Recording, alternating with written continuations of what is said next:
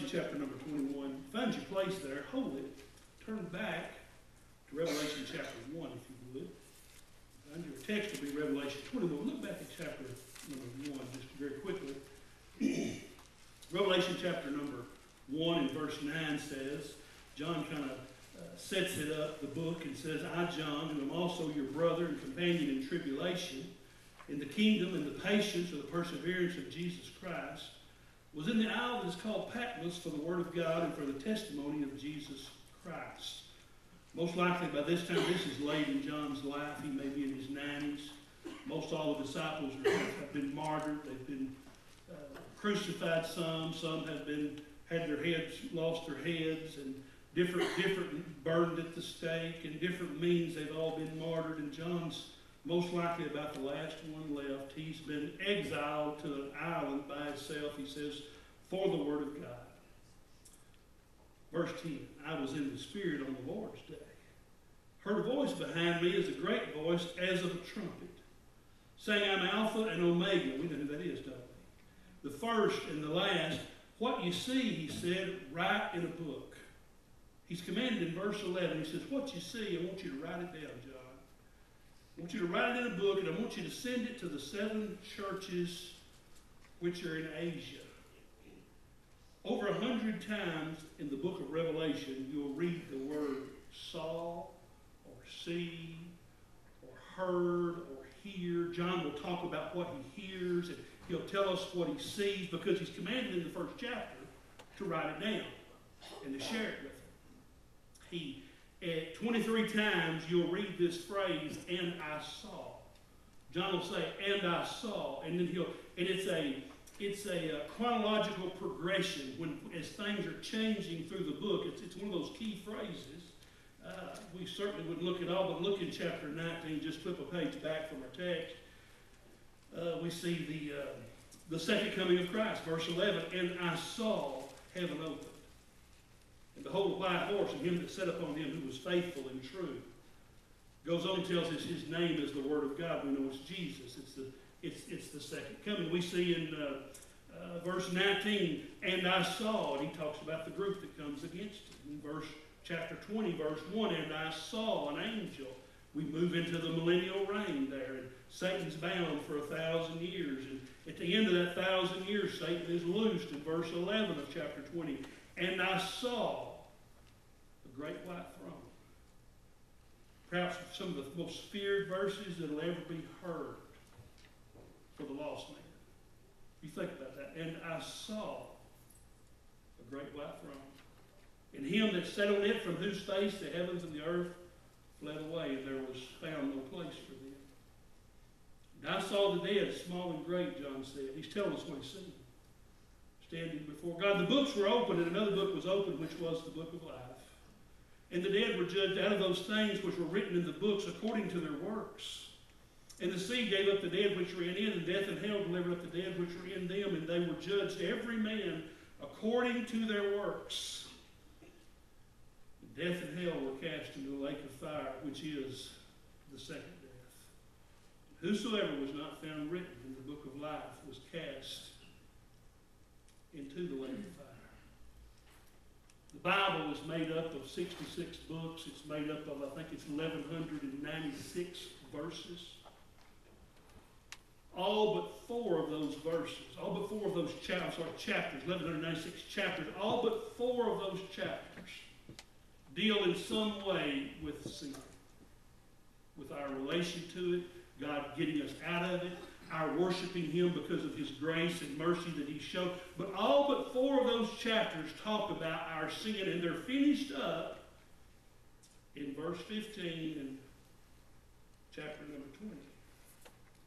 First two chapters, we say it's like bookends. There's the Bible has, has sinless bookends. You've got chapter one and two, there, chapter one in the creation account, and in the creation account, over and over and over, God as He's creating in chapter one, He talks about, you know, and He created the the the, the, the light, and He created uh, uh, uh, water and and and fish and birds, and everything's good, and everything all through chapter one, everything is good. Why? Because there's no sin. You get to the very end of chapter 1 on day 6 after he's created man in his own image, and he says, and it was very. And then chapter 2, he kind of reiterates what's happened. He, he sort of, he hangs the, gives us a skeleton in chapter 1, but in chapter 2, he begins to put some meat on those bones and tell us more about the creation. And it's not until you get to verse 18 of chapter 2 that anything is not good, and the Bible says it was not good that man should be alone. Only thing that's not good. God fixed that, didn't he? Gave us a woman. Gave Adam a wife. Gave Eve. Everything's wonderful. Then you get to chapter 3. And from chapter 3 all the way to Revelation chapter 20, in some form or fashion, every verse and every chapter is talking, it's dealing with our sin problem. But then we get to verse 15, and it's taken care of. The great white throne judgment's over. And we enter the last two chapters, and that's what I want to talk about this morning. Last two chapters, chapter number 20. We'll do something just a little bit different this morning. I don't want you to stand. You don't even have to read along. I, if you would, I'd just like for you to close your eyes for a moment and listen. As I tell you what John saw, John says, and I saw. One more time, we read that phrase. John says, and this is what I saw. And I saw a new heaven and a new earth. For the first heaven and the first earth were passed away, and there was no more sea. And I, John, saw the holy city, New Jerusalem, coming down from God out of heaven, prepared as a bride adorned for her husband. And I heard a great voice out of heaven saying, Behold, the tabernacle of God is with men. He'll dwell with them, and they're going to be his people, and God himself shall be with them and be their God. God shall wipe away all tears from their eyes. There'll be no more death, neither sorrow, nor crying. Neither shall there be any more pain, for the former things are passed away. He that sat upon the throne said, Behold, I make all things new. He said unto me, Write, for these words are true and they're faithful. And he said unto me, It is done. I'm Alpha and Omega, the beginning and the end. I give to him that's athirst of the fountain of the water of life freedom. He that overcometh shall inherit all things. I will be his God. He shall be my son. Heavenly Father, God, we do thank you for this day you've given us, Lord, for your for your word, God, that you commanded John to write down some 2,000 years ago. That we could just get a glimpse. I ask, God, that your spirit would walk these aisles. I pray, God, you would come upon this podium, this, this, this platform. You'd speak to my heart this morning, God. You would help us to just get as much of a glimpse as humanly possible of the things that you've got prepared for those of us. We love you and we praise you in Jesus' name. Amen. John says, and I saw a new heaven and a new earth. I don't know about you, but I like new things. I've been poor most of my life. I've had to prop about everything I've got up. Uh, my house, my cars, my tractors, about everything I've ever had. I, am not a very good mechanic at all, to be honest. But by necessity, I've had to be one. And so when I've had opportunity in later years to, to purchase something new, I enjoy that. I like something that you don't have to work on every day of your life. And John talks about that. Early, he talks about these new things We've got some new things coming. I don't know about you, but that helps me. He said, and I saw, he sees this new universe. He says, I saw a new heaven and a new earth. Now, you know, if you know your Bibles, that when, when, when, we, when we're in the Bible, we read about heaven, there's at least three that's, that's talked about. And the only way you can tell the difference is by the context that you're reading. Sometimes it's talking about, and what I can remember is that heaven where the sparrows fly. In other words, just above your head. Just, just, just the atmosphere, the air that we breathe, there's that heaven. And sometimes the Bible's talking about that when it says the heaven. It talks about the sparrows in the heaven. And then sometimes he's talking about the, uh, the, that level right above that where the stars are. The, the, the, we think about the universe, but the outer space, that part that's above us, where we've gotten to a few times. We can send a rocket ship or whatever. And we sometimes we're talking about that area. And then sometimes, and most of the time, what we think about is that place where the saints are. We think about where God is. Well, in verse 1, he's talking about those first two areas when he says he sees a new heaven and a new earth. He's talking about that area from here into the outer space area. And John says, I looked up and I saw a brand new heaven and earth. Now, there's disagreement among believers, and, and you can be on either side and, be, and, and, and still be, you know, doctrinally correct, and, and we'll be friends. Some people believe that God's just going to sort of scorch the top of this thing, just sort of sterilize it, if you will, and then and then start over. Others believe He's just going to blow the whole thing up and start over.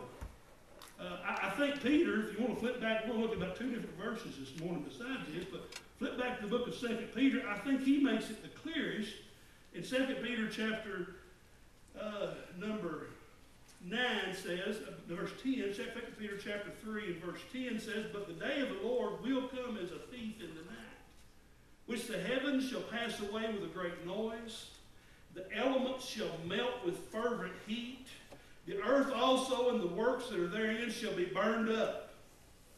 Seeing then that all these things will be dissolved, what manner ought you to be in all holy conversation and godliness? Looking for and hasting into the coming of the day of God, wherein the heavens being on fire shall be dissolved. Looks to it's going to be a pretty big fire, don't you? Says they're going to be dissolved. Says the elements are going to melt with fervent heat. If I understand this right, he's going to burn it slap up and then take what's left, take the dust, and create a new one. If you don't agree with that, that's fine. We'll still love one another. But I believe that's what he's, he's given to John. Says, I saw a new heaven it, it, it wasn't just like the old one, but there was some continuity between it. He said, I saw a new heaven and I saw a new earth. For the first heaven and the first earth were past. The question arises, why is he getting rid of it, you suppose? What is the 1196 chapters we talked about? It's sin. This thing, he's, he's cleansing this earth. This earth, as the Bible tells us, is groaning, waiting for redemption. And so there's a there's judgment that takes place. I've never thought about that this to this week. But you know, it says there's no more sea. And we know the, the earth is made up of about three-fourths water. This, this whole thing is made up of water. Our whole system is run from seawater, if you will. That seawater I've read is our is the is the cleansing, all the the, the, the, the junk that we throw out and it flows down the river and then it flows into the ocean. They say that seawater is made up of oxygen and hydrogen and chlorine. That's the kind of stuff we use in water to make things taste right and not, be, not kill you when you drink it, it? It's, it's a, that, that sea is that purifying process. We don't need it anymore. This new heaven, not that it won't have any water. We're going to, if you, if you were to read ahead of this, a chapter, we'd see that, that man, that big old river flowing out of the throne of God. There's plenty of water, but it's not the sea no more. He says, I saw a new heaven and a new earth. For the first one, it's gone. John says, I saw a new city. Every verse you read through here, it just gets better. He says, I saw a new city. I saw the new Jerusalem coming down from God out of heaven, prepared as a bride adorned for her husband. Now, here's the thing the city, it doesn't need to be cleansed. does it? It's doing real good right now. Right now, the Bible says to be absent from the bodies, to be present with the Lord. Doesn't it say that? The, the, the, one of our, the believer dies, in the moment he's taken into the very presence of Jesus Christ. Heaven is not rebuilt, heaven is relocated. That heaven.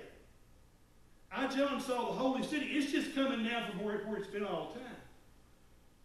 God the Father, God the Son, God the Spirit, and angels and saints and those who have gone on, and all believers of all the ages, and here they come. John says, This is what I saw. I'm telling you what I saw. And I saw the holy city. New Jerusalem coming down from God out of heaven. And look how he, look how he, he explained. He said, "Prepared as a bride adorned for her husband." You know, I feel a little of the pain this morning because I know I knew when I started this message. There's no possible way. There's not human language to describe what John is just saying. I don't have the education. I don't have the language, and John didn't either. But John's trying. John is trying. He's using every every capacity that he has, all of his to try to paint a picture for what he's seeing.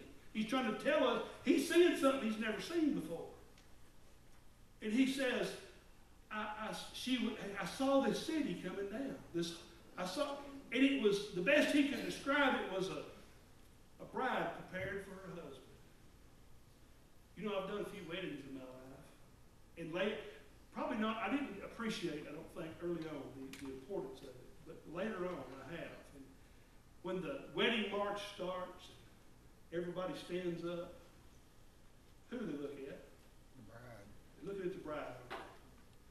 I, in the last few years, when the wedding march starts and everybody looks up, I look at the groom. Hadn't seen one yet, didn't have tears coming out of it. when he looks out there and he sees that bride, he's not seen her for at least a day typically. But he's not seen her. And he sees it. He, he, and the, the thoughts going through his mind. This is my bride. This is that one that God created just for me. I can't believe she said yes to the dress, but here she comes. You know, I, I just all the things, and he, he explains it as a bride adorned, and the word adorned is, is the word that we get our word cosmetics from. She's got all the cosmetics. It doesn't matter if she's poor, she's rich, if she's poor. She borrows stuff from everybody that she knows. Jewels and, and, and whatever they make them beautiful. She put, she, we'd say in East Texas, she put on the dog. Amen. I mean, she's put on the dog. She's, this is the day this little girl's waited for her entire life. This is that special day, and she wants to be so special for her groom. And, and John said, There she is. John looks up and he says, and he said it at least 20 something times at this point, but he's saying it one more time. He says, And I saw that heavenly New Jerusalem coming down out of heaven, prepared as a bride adorned for her husband. He sees her coming. I think about, that hold, I said it's going to look at one up. Look over the book of Hebrews, if you would. Hebrews chapter number 11. That great Hall of Faith chapter. Hebrews chapter 11 verse number 8 says, By faith Abraham, when he was called to go out to the place which he should afterward receive for inheritance, he obeyed and he went out, not knowing whither he went. By faith he sojourned, he dwelled, he went from pillar to post in the land of promise, as in a strange country, dwelling in tabernacles with Isaac and Jacob. The heirs with him according to the promise. And verse 10 says, why is he, why is he, why don't, why don't Abraham stop somewhere? Why does Abraham keep going everywhere? Verse 10 says, For he looked for a city which hath foundations, whose builder and maker. Abraham, I can just see him going through the promised land, come to this big city and says, That ain't it. He comes to another one and says, No, that's not what I'm looking for. John says, I saw what he was looking for. John says, I, I, I, I looked and I saw, and this is what I saw. He said, I saw that holy city. Later on in this chapter, he'll talk about the foundations, and the emeralds, and the walls, and the gates, and all that good stuff. But here he just says, I saw it. And then verse 3, John tells us what he hears. He says he saw a new universe, and he sees a new city, and it's getting better all the time. He says, I saw, I heard, and he's going to tell us about a new community. And I heard a great voice out of heaven say, Behold, the tabernacle of God. He will dwell with them. He's to, they're going to be his people. God himself. I like it when he says it that way. Some of you English teachers can tell me what that means. I know one thing it means it's good. God himself. He says it twice. Not God himself shall be. It's not Gabriel. It's not, you know, Michael. He says, no, God himself's going to be with them. He's going to be their God. There's a new, he's, behold, this voice says, behold, God is setting up his tent among his people. God has come to dwell with us. Behold, the tabernacle of God is with men, and He's going to dwell with us. And we're going to be His people, and He's going to be our God, and, and He's going to be with us. And all the things that has kept us. I don't know about you, but since I've been saved, last week would be since 1987. 30 some odd years. I haven't counted, but mid middle 30, maybe close to 40 years I've been saved.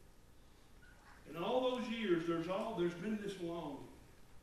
There's been this longing to. We sing that song, you know, what a glorious day that will be when I look upon His face. I've been looking. I, I've that's been a desire in my heart, and the older I get, the more that desire grows.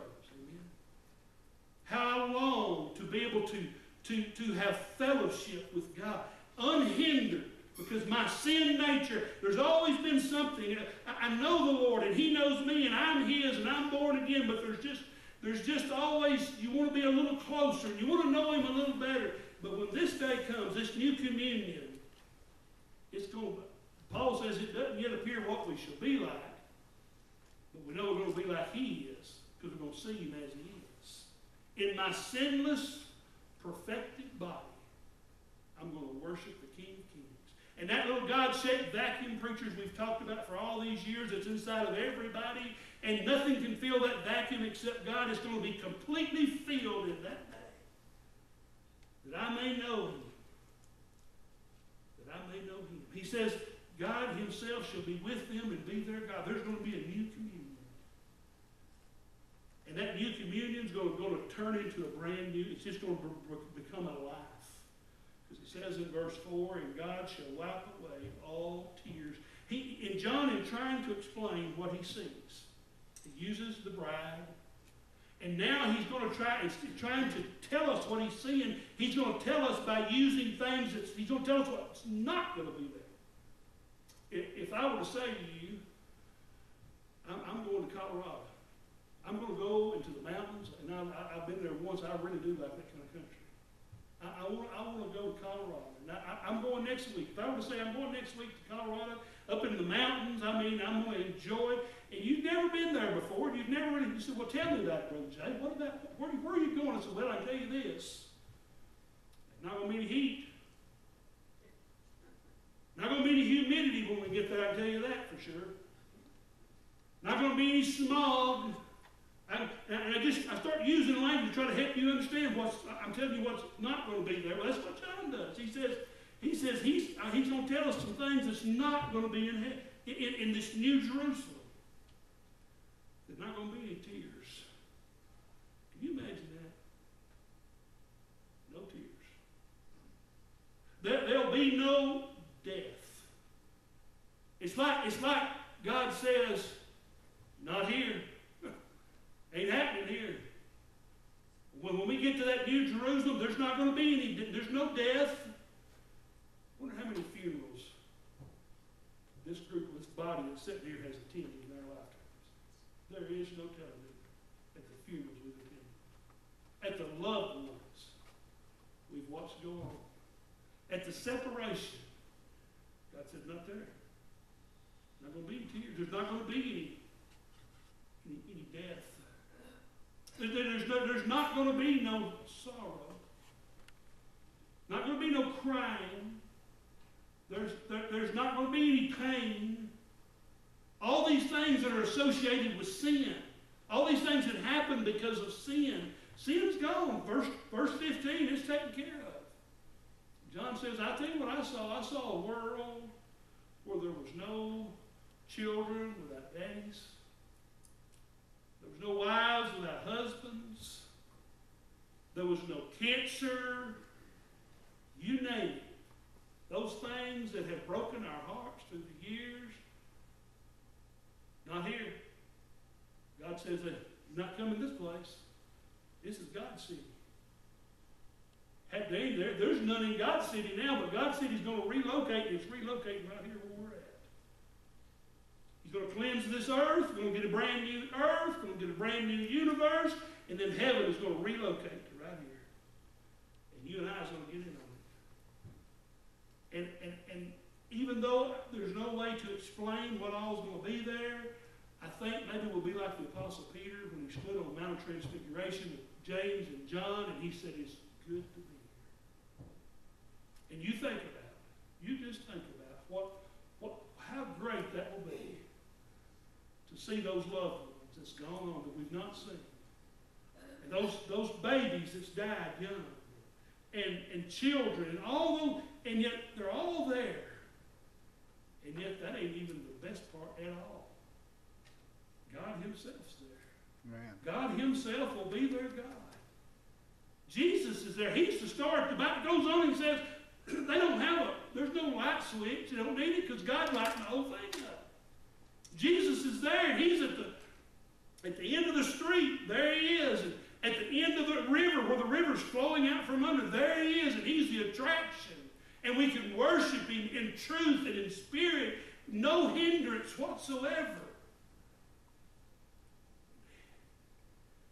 No more pain, no more sorrow, no more crying, no all the former things that dealt with sin, they're gone.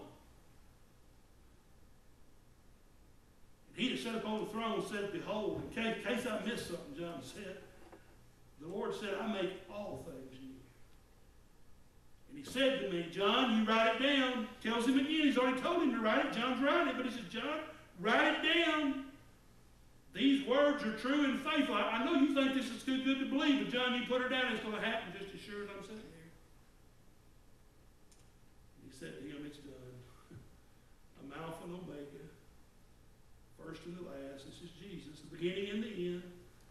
And I will give to him that's athirst. He finishes, he talks about a new universe, a new city, and a new relationship or communion. He describes our new life. But then before he leaves the text, he talks about an old invitation. An old invitation. He said, John, when you write it down, and you go back and you tell them about it, he said, I want you to tell them this.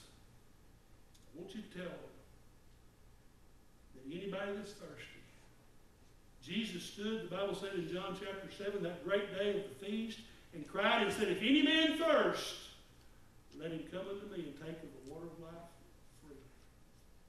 And he says in our text this morning. I will give to him that's thirsty of the fountain of the water of life freely. He that overcometh, who's he that overcometh but he that trusts Jesus Christ? He that overcometh, he says, shall inherit all things. And I'm going to be his God. He's going to be my son.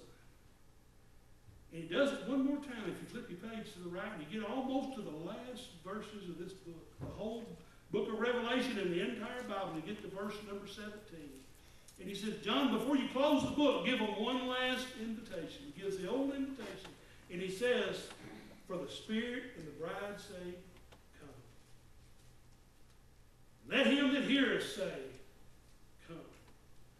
Let him that's thirsty come. And he said, John, give him one more.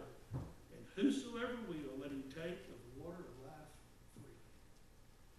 You don't have to be a Jew. You don't have to be white, black. Makes no difference. Whosoever, whosoever is thirsty. I suspect most of us here has been saved for a long time, but it might be that there's somebody here that doesn't.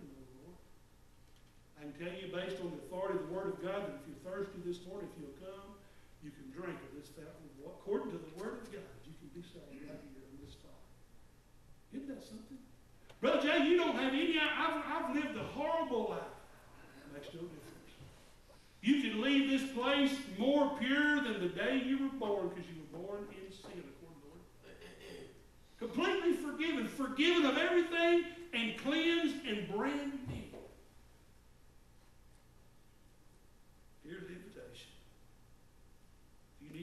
Perhaps somebody just like to come to this altar and just pray and just, just thank God what He's got in the future for us. Perhaps you'd like to come and, and rededicate your life. I don't know what the Lord has spoken to you or whatever He says to you. But as we stand this morning, and I tell you what, I didn't find it in the book, sisters. Let's, I think we all know it. Let's, let's sing that old song we all know. Let's all stand. There is coming when no heartache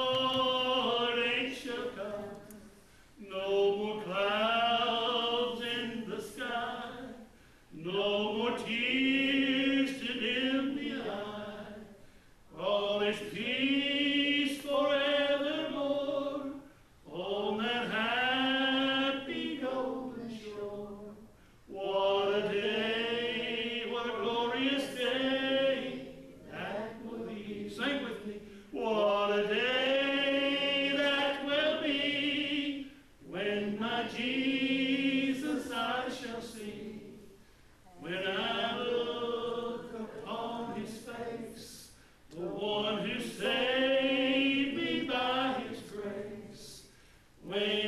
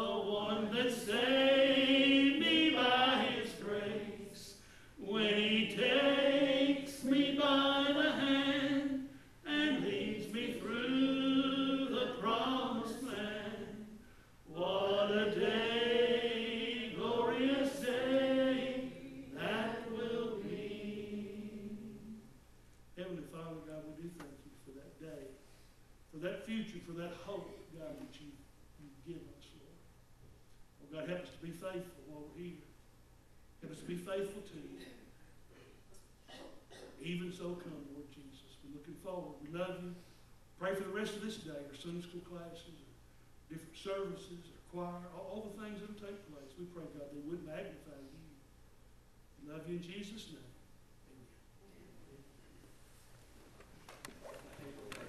so Thomas, you know, type deal. Uh, Howard and Sue Walker, Sue gets her injection tomorrow, and then she has a heart cath on Tuesday.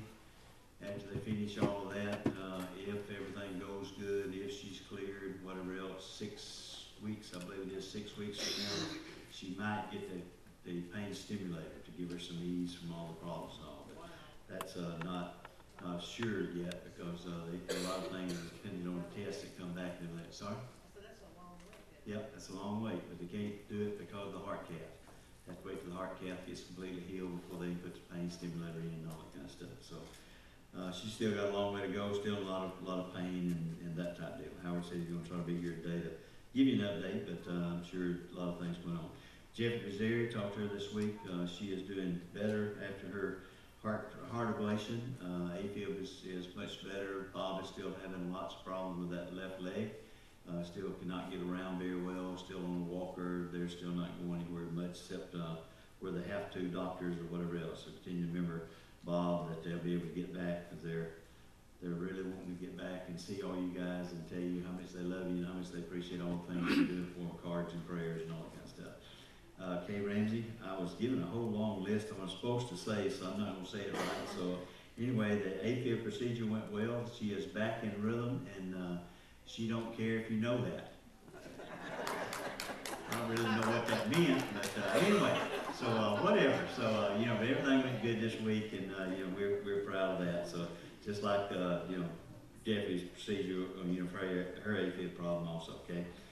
Kathy Muir, talked with Jack last night, uh, she's, uh, you know, really struggling right now, she has double vision still, they're not doing anything to improve that, They're giving her, they're trying to give her eye to wear and a lot of other things, and I'm not sure what all, Jack wasn't sure what all they're trying to do for that either, but, uh, as soon as they get that somewhat under control, she goes back to Houston, I believe Houston, November the sixth, I think that's, uh, Monday week, uh, to start or talk about the, the new chemo that she's gonna have to go through, so, uh, her cancer is back, okay? Uh, so she is, uh, in desperate need of prayer, you know, from us and all this kind of stuff, just for not only her, her double vision and all those problems associated with that, but also for the new chemo that she's gonna have to have. So, uh, long road to hoe for, Miss Kathy and all that kind of stuff, okay? And I think that's all the updates I have. Anybody need update on anybody else that I did not do? Oh, yeah, David Margaret Uh, went, uh, talked to David and Margaret Ann this week, took them over some, uh, firewood and, uh, type deal for them, and, you know, and he was very appreciative. He is uh, fell a week ago Monday, uh, kind of bunged himself up, this type deal. He's on a walker now. Uh, they're doing okay. Uh, David said he can't get around very well, so he didn't know when they's gonna be able to come back to, back to class. And I said, you know, you can use that for two weeks. After that, you're, you don't have to use it anymore. So anyway, so hopefully next week they'll be back with us. Uh, they're, they're struggling a lot right now with, you know, health problems and everything else. So continue to remember, you know, David, Margaret, and Lee, okay? Anybody else? Uh, Roger and Claire, last time I talked to them was about two, two weeks ago, I believe it was, type deal. Uh, he is still struggling with health problems, and that type deal. They just, uh, they're just, I, he said, we're getting by day to day. So, you know, whatever that means, you know, we, I told him if he wasn't so old, he wouldn't have that problem, but anyway, but, uh, you know, he just kind of laughed, said, yeah, right, so anyway, but, uh, but they're, they're hoping to get back soon, they just don't know when. They think every week, this is gonna be the week they're gonna get back, and then we don't see them, and, you know, that, that type of deal, so we're hoping for next week. Just continue to lift them up in prayer, so they both have a, have a lot of health issues and this type of deal that they're dealing with, okay? Anybody else? Cindy Hale, Miss Cindy is, uh, should be back, well, there's Curtis sitting right there. Curtis, give them an update on Miss Cindy, should be back or uh, Wednesday. okay? Good. She's, they a softball tournament this weekend at their ass, so she's moving around. Good, making, she's making Kayla get up and move and get on with it, right, yeah. Get it done. Yeah, that's what I heard last time, that, uh, Kayla was enjoying being waited on by Miss Cindy, and so Miss Cindy was fixing to abandon ship and say, hey, you're on your own now, you know, you, you- you, uh, so much of this taken care of, type deal, anyway, but we just thank God that everything went good for Miss Kayla and her, her surgeries and all the things that she's gone through. Yes, Will? Have you heard from Stuart Cates? Uh, Stuart Case, talked to him, uh, I lose my days, Monday or Tuesday. Uh, he is still waiting on insurance to, to give him, uh, basically the okay to go ahead with the surgery for his, uh, cancer on his kidney. They don't have that yet unless he got it late this week, because I've not talked to him later in the week, but, uh, you know, he is waiting on that okay so that he can go in there, looking to, or praying, hoping to, only take part of the kidney, I think it's his left kidney, only take part of the kidney because the cancer is in one section of it, so they're hoping to just take part of one kidney instead of taking the entire, entire one, one of the whole kidneys all out, so he'd only have one kidney, so therefore he'll take part of it, so he'll still have a kidney and a half or whatever else, so, uh, but they still don't know anything, they know they've gotta do that, they're just waiting to, like all of us on these things, waiting to get the okay from the insurance company to, uh, to do something with it, okay? Anybody else? Okay, Okay. if you think of somebody, yell at me, we'll, we'll try to get it on there, okay. Uh, tonight, um, tonight, seemed like tonight, it's been up since ever, forever. Uh, today, we'll, you know, cover just a few minutes about our Sunday school, I mean, our homework studies in Mark, chapter eleven. There it is, our boy Glen, Mark chapter eleven, you know, type deal, we begin in verse, verse fifteen, I have to look to see where it is, because I have, I don't have it, you know, right in front of me. But Mark chapter eleven, verse fifteen. this is triumphal entry where Jesus is talking, talking at this point. It says, on reaching Jerusalem, Jesus entered the temple area and began driving out those who were buying and selling there. He overturned the tables of the money changers and the benches of those selling doves and would not allow anyone to carry merchandise through the temple courts. And as he taught them, he said, Is it not written, My house will be called a house of prayer for all nations, but you have made it a den of robbers. The chief priests and the teachers of the law heard this and began looking for a way to kill him, for they feared him, because the whole crowd was amazed at his teaching. When evening came, they went out of the city.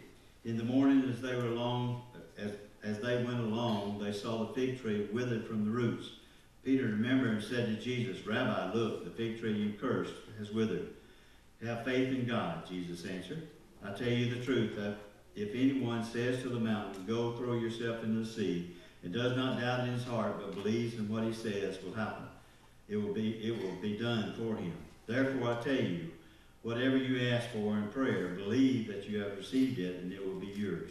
And when you have sta- stand praying, if you hold anything against anyone, forgive him, so that your Father in heaven may forgive you of your sins. this you could spend 30 minutes on these few verses here, but uh, you know, I know you studied these this week and you've been faithful to do that, so we'll just take just a second. First of these is talking about here that Jesus is, you know, the background of all that. Jesus goes in to clean up the temple. The temple area's been defiled, and they've been defiled because of all the things that they're doing there. They're robbing people by changing money from what their money into the temple tax money. So they're charging exorbitant fees to do that. They're selling, uh, you know, things, animals and all to be sacrificed, on and on and on. All these things have taken the word, the temple of God, away from worship and into the worldly realm, if you will. We'll see that today in the Hebrew studies. We get there to do the same thing. And he's saying you are not to defile the house of God. The house of God is sacred because that is where you and I come to worship the King. We, we so, so many times we forget that. We come, we come to church or we come to Sunday school, but we fail to come to Sunday school or fail to come to church sometime, taking that time to worship the King. You know, that's what God is saying. You know, He wants to meet with you. He is there for you. That is His temple. That is His tabernacle, if you will, meeting place where you and I are the church. And you and I, the church, are to praise our, our Savior and our Lord. Okay? Uh, the other part, you know, goes down and talks about uh, the, the, the belief and knowing. As you pray, pray knowing that God is going to answer your prayers. Uh, that's something that you and I as Christians have that nobody else has. Because God hears every prayer that you lift up and I lift up, and God answers every one of those prayers. Every one of them. He may not answer them like you want to, or he may not answer them in the time frame that we think is, and all this kind of stuff. But he has promised us that he's going to answer every prayer that we have. We pray knowing and praying in God's will. Same thing in Hebrew. This ties right back into our Hebrew study, our Sunday school study, about as we pray, praying God's will, that God's will be done and not mine and your will. That's where we get lost. That's where we, we have a tendency to stray away from God because God doesn't answer my prayers. He didn't answer my prayers the way I wanted answered. He answered my prayer. Okay? So just know that God promises throughout Scripture that He will not only hear every prayer that His children lift up, He will answer every prayer. He will answer a prayer in a way that you'll be blessed. We may receive our peace, our joy, our happiness, that type of deal. We may sit and not receive that in this lifetime, but you will receive it. You will receive it. It may be standing before the judgment seat of Christ before you see the blessings that God bestowed on you of the prayers that you lifted up. But He is answering every prayer, and He will be in your life and be in the life of those that you're praying for. Okay? What a great God we have. Okay? Anybody like to say anything about the Mark passage? Had two or three you come to me after and said, Well, I started to say this, but this takes too long. And I said, Doesn't make any difference anyway. If you want to say it, say it. Okay? That's why we're here. Because somebody may need to know what you think that is here. Okay? So there's so many other things in this in this passage also. Okay? Okay, back to our Sunday school passage, Hebrews. Hebrews chapter 13, beginning in verse 4 is where we up. We finished up with last week. This is including exhortations that God gives the people, the Christians of, he, of Hebrews. Here he has talked about, in verse 4, he talked about the marriage. We talked about that last week and how, how God brings judgment on people that stray away from his word. And one of the examples he gives us here is marriage. We know back, we go back in history, how, how Jerusalem, how, how the Jews were affected, how Jews were brought, were brought judgment on them by God because them straying away from what God had in his plan and by his scripture of one man, one woman, and a holy matrimony. As they went away from those and became one guy and two guys, one lady, two ladies, to whatever it may be, living together out of wedlock, on and on and on, all these things against God's will, that they, they brought judgment on the house of Israel. Okay? And because of that, they, they, they destroyed the temple. They destroyed their, the temple at that time in AD 70 judgment on them. And many people died from that point. Same thing we're in today is we have defiled, as the United States has defiled, the same thing. What we have done to abortion, what we have done to the definition of what marriage is, on and on and on. God promises in verse 4, God says, I will bring judgment on you. I hate it when I, you know, I read something that says, God says, I'm going to bring judgment on you tomorrow because of what you did. That's scary. That is really scary. If it's not scary for you, you need to get on your, on your knees because you don't understand who God is. God loves you. People think that God loves them, therefore he will not bring judgment on them. God didn't say that. God says, I'm going to love you through it while I bring judgment on you. I am the provider for you, and I'm provided for your eternal life and your salvation. I'm not provided for your happiness, as you go through your in sin in your life. He brings things in our life so that we will grow spiritually, so we will change to what God wants us to be, what we're supposed to be. Okay? And because of the things we allow to happen and things we do, God's bringing judgments on us personally. He brings judgment on us as a nation. And that's where we are today judgment on us as a nation. I'm just praying for rapture every day. Because God is sick and tired. As we see, there's a shaking. As we look through Revelations, we do those things, and God is talking about the shaking of the earth. The shaking to getting people's attention that, hey, judgment is coming. Judgment is coming. We don't know when that is. Revelation, I mean, rapture may happen today, tomorrow, next week, next month, 40,000 years from now. I have no idea. But we know that everything is completed. Everything in Scripture is done. We are to that point where God pulls the trigger and said, the day is the day that I bring my children home. So we are to prepare and prepare all those around us to prepare for today being the day that he calls his children home. Praise the Lord. I hope it is today. Maybe today. Okay.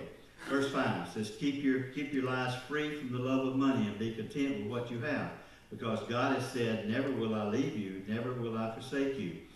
Here, you know, many people we hear and we say, and we, you know, many of us quote says, you know, money is the root of all evil. Scripture does not say that. Money has no intrinsic value as far as being good or evil. It is just a means of exchange. You know, a dollar bill is a dollar bill. 20 cents is 20 cents, whatever those things are. And what he is talking about, what Scripture says, the love of money is what is, what is evil. And the love of money, why it is evil? Because we're replacing God as the, as the one of our worship in our life. That God in our life, we're replacing the Almighty Father with money and what money can do for us or what money can buy for us. We have decided that, you know, we, we, we don't need God. We need more cash. We need more investments. We need more whatever it may be, okay? God says, you know, we don't take any of that with us. The only thing you take with us is the good works we do for God here on this earth. That's all we take out of here. We take our salvation because God has promised that. God is holding that secure. But, you know, make sure that you do not, you know, get into the point where money is more important than anything else that we do in our lives. Because it says that be content with what you have. You know, God is going to bless you. God has promised to bless you. God has promised to provide for us. And he is going to bless us and provide for us of the things that we need, not the things that we want. God never says he's going to give you what you want.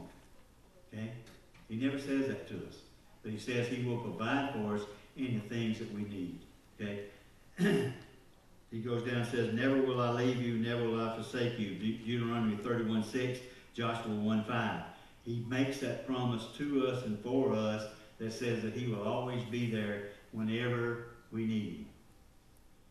What a wonderful thought that is to be the king that's making a promise to me and you, saying that he's going to provide for us. Not that, you know, he's going to give us everything we want. I remember growing up back in that little rural area of Alabama, you know, type deal, when I was growing up in the 50s and 60s and this type of deal. You know, I looked around and I, we didn't realize we was poor because everybody was poor. Everybody didn't, didn't have anything. You had enough to get on the table to eat and, eat and fill your belly that, that, that next meal or whatever it may be. And you, you know, it was God provided for us the joys of family, the joys of what He had for us in our life. You didn't realize that. You didn't realize you needed more money every day because there was no more money coming in. But God blessed us. He blessed us as a family. He blessed us with eight kids. And out of those eight kids, each one of them, many of them today are teaching Sunday school. Teaching God's Word. You know, what a blessing God does. And God, God blesses us each and every day. He said, Never will I leave you nor forsake you. In the times that God brings trials and tribulations on us to grow us spiritually, to make us spiritually mature, God is standing right there with us as we go through each one of those trials. And He is making us stronger. And He's making sure that, you know, that we're, we're able to get through them. Verse 6 says, So we say with confidence, The Lord is my heifer, I will not be afraid. What can man do to me? Psalms 118, 6, requote. God says that, you know, that He is always going to be there. The world cannot affect you. The world cannot take your salvation from you. Once you become a child of God, that is secure and always. Do not ever think. The only thing that's important for us here in this world today is our salvation. That's the only thing we carry out of here, is our eternal life. And God is going to help us hold that eternal life in His hand, not yours and ours, yours and mine. So therefore, no way man can affect you to the point of saying He can take your salvation from you. He can take your joy from you. Because God holds that in His hand and not mine and yours. Now, can the world take away your happiness? Absolutely. Absolutely, because our happiness depends on the, on the situations around us. Our joy depends on God, of what God has for us and what God wants us to be. Okay? Verse 7 says, Remember your leaders who spoke the word of God to you. Consider the outcome of their way of life and imitate their faith. He is telling them here to consider, to look to, to, to study the leaders of their religious leaders that they sit under each and every day. Look and see how they lead their lives, how they trust in God in their lives, how they worship God, how they give God his adoration and praise that he so richly deserves each and every day. Look at those and then pattern our lives to do exactly the same thing. You and I are to the point now of being older and everything else. You and I are those leaders that people are looking to today.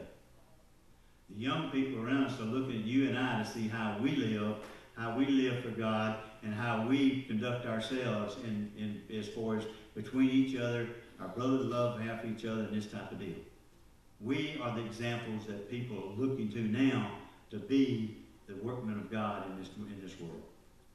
Great responsibility. Great responsibility. You never compare yourself to the people around you. Never compare yourself to your friends or your neighbors or a leader or whatever else, that type of deal. You only compare your life to one person, and that is Jesus Christ. If you measure, if you can measure up to people around you, that's not good enough. They're sinful. They're evil. They fall away from what God has for them in their life. But when you compare your life to Jesus Christ and how He is and how He led and how He forgave people and everything else, we fall way short. And that's why we compare ourselves to Jesus and not to people around us. Okay? Because God wants us to, to imitate those people that went before us. Imitate those great leaders that, that showed us God in, their, the way to walk. You know, we have many of them, everybody has their own ones. You know, many people speak of Billy Graham and on and on, and all that, all the other great religious peoples that, that have led this country and led the world, people, the world itself to, you know, toward God. Imitate those things. But most of all, we imitate one person, and that's Jesus. How he forgave his enemies, how he forgave those that he forgave those that crucified him. How much more did that take than me to forgive somebody that hurt my poor little feelings? My goodness. my goodness. Who do I think I am? That I can hold against somebody for a word they said that I probably took out of context anyway. Understand that we compare ourselves to Jesus and live for Him each and every day. Verse 8 says, Jesus Christ is the same yesterday, today, and forever. What a beautiful verse. We so many times misunderstand that verse, okay? We know that Jesus and God is not, not, not changeable at all. He is unchangeable as far as his nature, before as far as who he is. Okay? We know that you know he is un, he is unchangeable as far as being divine and eternal. When God says and God makes a covenant with you and I, he acts on that covenant and he never changes that. The promises he gives us as Christians, as a father to a son, or father to a daughter, he never changes that. He never backs up on it. He never makes a modification to what he does. When God says, I'm going to hold your salvation in, my hands until you stand before the judgment seat of Christ, that's the end of sentence. He doesn't say, well, unless. Or next year they're going to say, well, I'm going to hold that for a while, but then I'm going to give it back to you, then I'll take it back need to. God never does any of that. He never changes in those things. His divine nature, his, his self of who he is, okay? And the way he provides for us and what he wants, us- wants us to be. The covenants he makes with us and he promises us to do, he will fulfill. As we read through Scripture and he talks about all the judgment he's going to send on the sins of people and sins of lives, you know, when he talks about the judgment he's going to send, he will send those. Sometimes we look at that and read and say, well, he, no, he changed his mind because he says he's going to destroy these people he waited 40 years to do it. He didn't change his mind, he just changed the time frame. He still destroys those people. If you read back through Scripture, he talks about he's going in and wipe out this nation that's in front of them, and it took them 100 years to do that. You finish down through Scripture, what did he do? He sent people in and wiped out that nation. God is divine and eternal. His promises is secure and you can bank on it. Now, how is he unchangeable? And we, we read through Scripture, and sometimes we take the unchangeable part and put it into the changeable part. This type of deal. The, the changeable ways that God is is in person and programs. Okay? God, Jesus is changed is, is, is changeable in for as a person. Jesus was eternal and Jesus was divine from day one of creation to forever. Nothing different about that. He is unchangeable in that. But he is changeable in the fact that, that some point in time when he and God decided now is the time for him to come as a person, as a human on this world, to be crucified for your and I, your and I sins, he became totally divine and totally human. So that person himself was changeable in that he is fully both both both sections. He became fully fully human so that he would know the aches and pains that me and you go through each and every day. He'll know how the world tempts him each and every day. And he'll also know, you know, that the, the feelings we have and every, the thirst, the hunger, the desires. But Jesus differed you and I is that he never succumbed to those that were sinful. Okay? And then after he was crucified, dead, buried, and resurrected on the third day, he became totally divine again. So as a person, he went from divine to totally, totally divine to totally divine and totally human, back to totally divine. So he is changeable in those aspects. In programs, how's he changeable in programs? And programs that, that, that, that he does, and you know, like food. We look at back through scripture and it talks about from, from basically from Adam all the way up to Noah, the food that people, people ate were vegetarians. They ate no meat whatsoever. None at all. No, not only people but animals were the same thing. From Noah to Moses, things changed. God came and said, you know, through the through this law and everything says says basically that, that things are edible. There's things that you can eat, you can eat meat. So we changed the program. Now you're not vegetarian. You may be veg- you're vegetarian and, and meat eaters. Okay? And all those things that we do. And then when when you know from Moses up to Jesus, he brought the law to us and says, well, now some things are good, some things are bad. Some, you know, back in Moses' time, everything was edible. It was up to them to, to eat and provide for themselves. Everything that walked and breathed. From Moses to Jesus, now went back to the point where some were good, some were bad. Kosher, kosher food, if you will. Okay? So some things you cannot eat, some things you can eat. And then after Jesus died, he said, now I've made all things holy. Now then, you can you can eat anything there is out there that God provides for you. So it's his his programs and the things he does, and you know, you're different. The other program, which is which affects us so much, that doesn't affect us a whole lot. Most of us, like I am, Carol puts it on the table, I eat the mess. Okay, where it's good or bad, and tell her it's good. Hadn't found anything yet that hasn't been good that she's put on the table. Okay, uh, but you know, the other thing is is the way he deals with us the way he deals with me and you, the way he deals with human humankind. He is changeable in that that we looked at chapter 11 and talks about those things. He is raising people from the dead. He is healing the sick. He is doing all those things. And we think because he raised one person from the dead or we he healed one person, then it go it, it now becomes a principle, and he is going to raise everybody from the dead. He is going to raise every uh, heal everybody from whatever they're sick of. Now we know that here in raising the dead and that, that type of deal, he is changeable and unchangeable. He does not promise he's going to raise everybody physically from the dead. He did make a promise that he's raised everybody that loves him and everybody has salvation from the dead spiritually to be with him. Okay? But he will not raise people physically back to back to life. He will not raise everybody. If he chooses to do so, he will do so. Okay? He will not heal everybody we pray for. If he did, there would never be a Christian person ever die again. Ever. Why? Because we have, we have friends and neighbors that pray for us that when we have problems in our life, when we're facing cancer or whatever it may be, and God would have to heal them. Okay? We know that is going to happen again. In a thousand year reign, that's going to happen. They will never be sick to the point of death ever again in a thousand year reign. Once they're saved, they live for that entire thousand years and on into eternity. But until that point in time, to the thousand year reign and come after the tribulation period, you know, therefore, you know, just because somebody was healed from cancer doesn't mean everybody's going to be healed from cancer. His programs are different according to who you are. Not because of, you know, that you're some, some great person or whatever it may be, but, but whatever his will for your life and my life is. We remember chapter 11, he said, those that did not, were not made well, those that were not raised from dead, have as great a blessing as those that did. So God is going to bless us all because one day, one day, all of us as Christians are going to stand before the judgment seat of Christ. And every one of us are going to be blessed by God. So we know that God is, in his own way, is so, so divine that everything he promises he's going to do for us, he's going to do for us. It may not be today. It may not be in this lifetime, but it will be done. Don't let anybody ever tell you that God is not going to take care of you. That you as a child of God is not going to stand and, worship God for eternity in the presence of God. That's a promise, that's a covenant, that is something that, that, that Jesus said, and that will happen. Okay?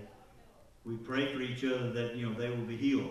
Will that happen? They will be healed. They may die physically, but they will be healed. Just like uh, Revelations 21, and Brother Jay is talking about today in, in his message. No, Revelations don't take every pain, every tear from your eye, the suffering from the, that you're going through. He's going to take care of all those things at somewhere, some point in time. Okay? What a great God we have. Wow. Jesus Christ the same yesterday, today, and forever. What a promise that is for us. Okay? God wants us to see that in His Word, to understand that in His Word, and understand that applies to you and to me. That applies to us as Christians. That applies to us as a nation. That applies to everything that comes about that we stand before Christ with. What an awesome God we serve. Awesome God we serve. Father, we love you. Thank you for your word, Father. Thank you for the, the truths that, that you just project to us, Father. We, we can see and we can pattern our lives after the one that is, that is so perfect. Father, help us to forgive our neighbors. Help us to forgive those people that sin against us.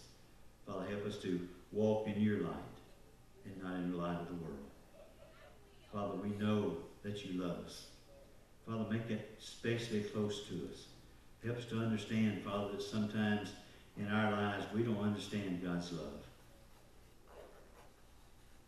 In this physical life, sometimes God's love hurts. It hurts us in mourning for a loved one. It hurts us in, in passing of someone with a disease or whatever else, Father. But you are still in control. And Father, we know we look past those hurts to understand, God, that, that you have promised that we will see them again. You're only separating us for a short period of time, and then we'll be back together again. Oh God, thank you for your love. Thank you for your promise. Thank you for your power that you can do everything that you say you're going to do. Bless, keep, and guide us. Be with those that need our prayers.